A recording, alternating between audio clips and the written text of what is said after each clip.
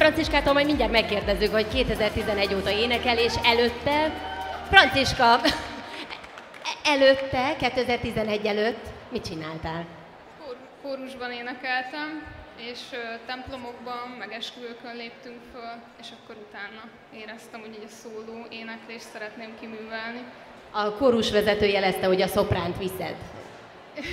hát részben, de az egy csapatmunka inkább a, a kórus, és, és hát igazából ezért is éreztem úgy, hogy jobban tudok fejlődni, hogyha egy kicsit így, tehát a magántanári részhez visszamegyek, és ennyi igaz.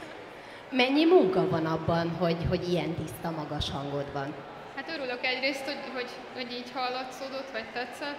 Ö, hát olyan naponta, két naponta biztos, hogy muszáj, mert hát ez olyan, mint egy hangszer, a gitáros srác is gondolom minden nap gyakorol, ahogy hallottam.